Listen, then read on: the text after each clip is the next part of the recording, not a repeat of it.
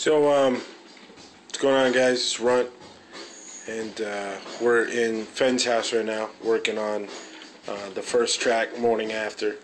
We pretty much had the album um, kind of wrapped up creatively for a while, uh, and we just haven't had a chance to get into an actual studio setting and really record everything. So, this is what we're doing at the moment. Um, we finally got some time set aside. I've been crazy busy with work. Finn's been crazy busy with work and school.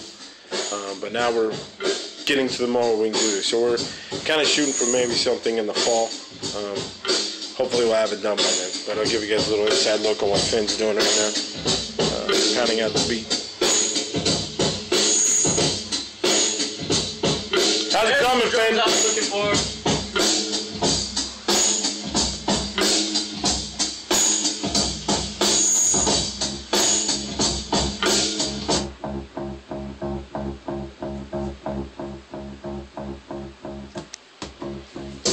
So we're obviously starting to do some stuff, which I know we keep telling you we're going to get to work on this.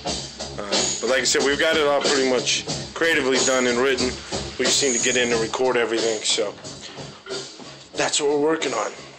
I know that you guys think that we're probably not doing anything ever, but we're consistently trying to get some work put out. So that's what we're working on right now. Um, I'll keep you guys kind of up to date on what's happening. I got a cool new phone, so I can do video blogs now about everything.